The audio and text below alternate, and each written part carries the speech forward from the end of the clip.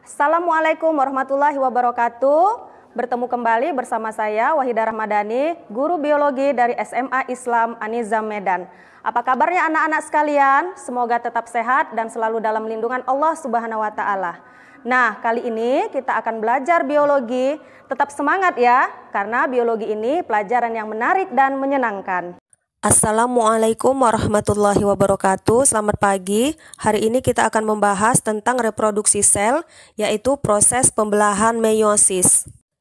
Pembelahan sel meiosis terjadi melalui dua tahap, yaitu meiosis 1 dan meiosis 2. Untuk tahap meiosis 1 dimulai dari fase interfase, kemudian masuk ke profase 1, metafase 1, anafase 1, telofase 1, dan diakhiri dengan peristiwa sitokinesis yang pertama. Nah, untuk proses pembelahan meiosis pertama akan menghasilkan dua sel anakan. Selanjutnya, pembelahan berlangsung kembali menuju ke pembelahan meiosis 2. Pembelahan meiosis 2 berlangsung tahapnya yang pertama yaitu propase kedua, metafase 2, anafase 2, telofase 2 dan terakhir sitokinesis. Pada tahap meiosis 1, Prosesnya diawali dari tahap interfase. Tahap interfase adalah tahap pengumpulan energi di mana energinya ini nanti akan digunakan dalam proses pembelahan selanjutnya. Pembelahan selanjutnya yang dimaksud adalah profase 1, metafase 1, anafase 1, telofase 1, dan sitokinesis. Antara meiosis 1 dan meiosis 2 ada periode pendek yang memisahkannya yang disebut dengan tahap interkinesis. Pembelahan meiosis terjadi pada sel-sel kelamin atau gamet, yaitu pada sperma dan ovum. Pembelahan meiosis juga disebut pembelahan reduksi karena terjadi pengurangan jumlah kromosom induk. Nah, ciri-ciri pembelahan meiosis ini yang pertama, pembelahannya berlangsung dua kali, yaitu prosesnya ada meiosis 1 dan meiosis 2. Kemudian dari hasil pembelahannya akan dihasilkan sel anak sebanyak 4 buah. Nah, sel anak yang dihasilkan ini jumlah kromosomnya setengah dari kromosom induk, yaitu bersifat haploid. Sifat sel anak yang dihasilkan ini akan berbeda dengan sel induknya. Adapun tujuan dari pembelahan meiosis adalah agar generasi berikutnya mempunyai jumlah kromosom yang tetap. Perhatikan bagian berikut. Untuk proses pembelahan meiosis ini ada meiosis 1 dan meiosis 2. Meiosis 1 dimulai dari tahap profase 1. Nah, untuk tahap profase 1 ini terdiri dari tahap leptoten, zigoten, pakiten, diploten, diakinesis. Itu tahap profase 1 ya. Jadi di profase 1 ada 5 tahap. Nah, nanti setelah profase 1 akan langsung masuk ke metafase 1, anafase 1, kemudian ada telofase 1. Selesai untuk meiosis 1. Nah, selanjutnya tahapnya nanti akan masuk ke meiosis 2. Dari meiosis 1 ke meiosis 2 ini ada periode periode pendek yang nanti disebut dengan tahap di sini interkinase. Lalu masuklah dia ke propase 2, metafase 2, anafase 2, telofase 2, kemudian nanti akan dihasilkan 4 sel anak yang memiliki kromosom setengah dari kromosom induknya yaitu haploid. Langsung kita bahas ya satu persatu, kita mulai dari tahap meiosis 1. Untuk tahap meiosis 1 ini ada yang pertama tahap propase, propase 1, metafase 1, anafase 1, dan telofase 1. Untuk tahap propase 1 umumnya berlangsung lebih lama karena tahapnya dibagi-bagi lagi menjadi lima stadium. Yang pertama di sini adalah tahap leptonema. Nah, untuk tahap leptonema ini dapat dilihat di sini ya. Ditandai dengan benang-benang kromatin mulai memendek dan menebal. Ini nanti akan membentuk kromosom.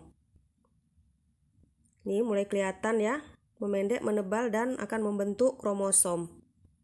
Tahap di propase 1, yang kedua tahapnya adalah zigoten.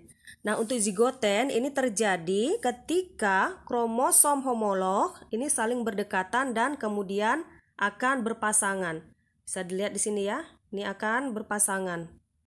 Tahap ketiga dari propase 1 adalah pakiten, di mana di sini akan terjadi penggandaan atau replikasi kromosom. Tahap selanjutnya adalah diploten. Untuk tahap diploten akan terjadi pindah silang antara kedua lengan kromosom. Ya, terjadi pindah silang di sini kelihatan antara dua lengan kromosom yang nanti akan disebut dengan kiasma. Untuk tahap terakhir pada propase 1 yaitu tahap diakinesis. Nah, tahap ini ditandai ketika benang-benang gelendong atau spindle terbentuk. Kemudian membran inti melarut dan nukleus menghilang. Tahap selanjutnya setelah propase 1 adalah tahap metafase 1. Untuk tahap metafase 1 ini ditandai dengan mulainya tersusun rapi kromosom homolog di bagian ekuator. Ini kromosom homolognya tersusun rapi di tengah ya. Persis di tengah yang disebut dengan ekuator. Nah, selanjutnya benang spindle ini kemudian akan menempel pada dua sentromer di masing-masing kromosom homolog. Ini benang spindlenya menempel pada kromosom homolognya di bagian sentromernya. Tahap anafase 1 ditandai ketika kromosom homolog terpisah karena tarikan benang spindle. Ini kromosom yang tadi awalnya di tengah ini mulai terpisah ya karena ada tarikan benang spindle. Nah, kromosomnya kemudian bergerak memisah ke arah yang berlawanan. Ini satu ke kutub atas, yang satu lagi ini ke kutub bawah. Kromosom yang tertarik adalah kromosom saudari atau kromosom yang telah mengganda saat interfase. Pada tahap telofase 1, ini akhir dari meiosis 1, ini cirinya adalah kromosom telah sampai pada kutub masing-masing. Kemudian membran inti mulai terbentuk kembali. Terjadi proses sitokinesis yaitu pembelahan sitoplasma dan nanti akan dihasilkan dua sel anak yang memiliki kromosom bersifat haploid. Selanjutnya, tahap meiosis 2 dimulai dari profase 2. Nah, ciri dari propase 2 adalah membran inti akan menghilang kembali. Kemudian sentriol, ini sentriolnya akan bergerak menuju ke kutub yang berlawanan. Jadi nanti satu di sini, satu di sini sentriolnya bergerak menuju kutub yang berlawanan. Benang spindle kemudian mulai terbentuk dan nanti akan mengikat kromosom yang masing-masing tersusun atas dua kromatid.